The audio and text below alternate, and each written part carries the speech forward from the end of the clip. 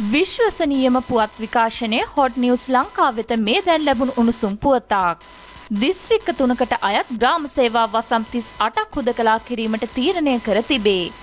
දැනට රටටම පනවා ඇති සංචරණ සීමා හේතුවෙන් මෙම හුදකලා කිරීම් දාහත් වන සඳුදා පෙරවරු හතරේ සිට ක්‍රියාත්මක වන බව යුද හමුදාපති ජෙනරාල් ශවේන්ද්‍ර සිල්වා මහතා පැවසීය.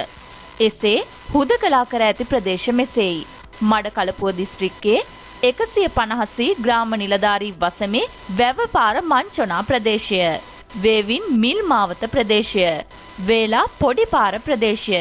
කනකි අම්මන් කෝවිල පාර වෙරළබඩ ප්‍රදේශය. එකසිය පණහබ්බී ග්‍රාම නිලධාරී වසමේ ලකේ මාවත විතන්න ප්‍රදේශය. අප්පුහාමි මාවත වෙරළබඩ ප්‍රදේශය.